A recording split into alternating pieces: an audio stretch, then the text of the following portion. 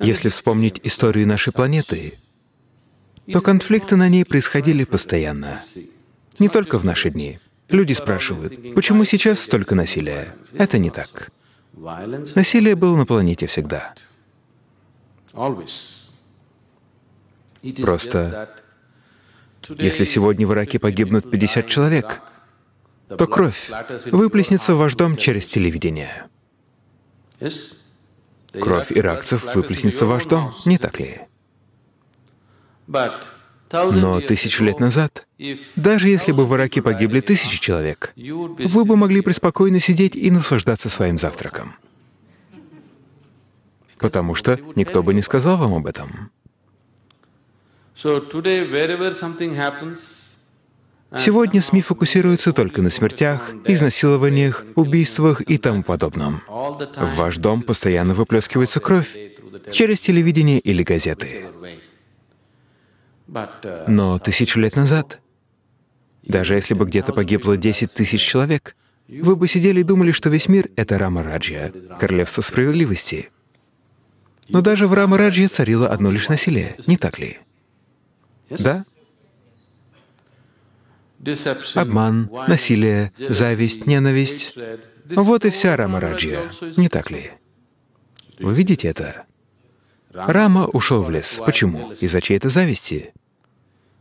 Рама отправился на Шри-Ланку. Почему? Из-за чьей-то жадности.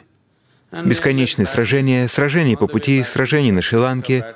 Он сжигает там все дотла, возвращается назад, но не может спасти свою жену. И ему приходится отправить ее в изгнание, в джунгли, где она и умирает. Теперь вы все это превозносите, говоря, «Она ушла к земле». Все только туда и уходят. Куда вы думаете, вы отправитесь? Думаете, попадете на небеса? Вы тоже уйдете к земле. Но если мы отправим вас к земле прямо сейчас, то здесь превозносить будет нечего. Это было бы чудовищно, не так ли? Но Сита отправилась к земле, и вы это превозносите, потому что пять тысяч лет спустя все выглядит совсем по-другому. Но это просто ужасно, не так ли? Беременная женщина, женщина, которая вынашивает ребенка, ни одного, двоих.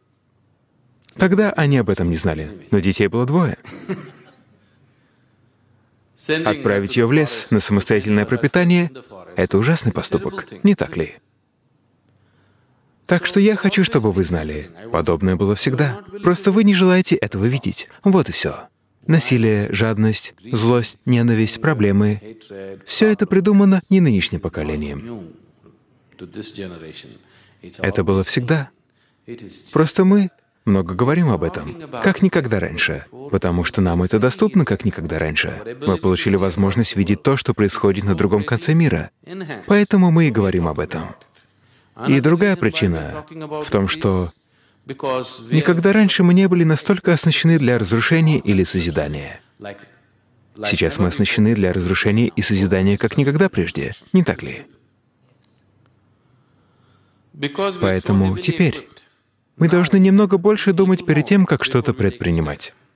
Было время, когда, если вы злились, вы могли просто взять палку, и либо вы убивали этого человека, либо он убивал вас, и все это происходило между вами двумя. Это всегда было дуэлью. Но теперь это не так. В наши дни, если вы разозлитесь, вы можете устроить конец света. Так что мы больше говорим обо всем этом. Но конфликты среди людей существовали всегда. Почему?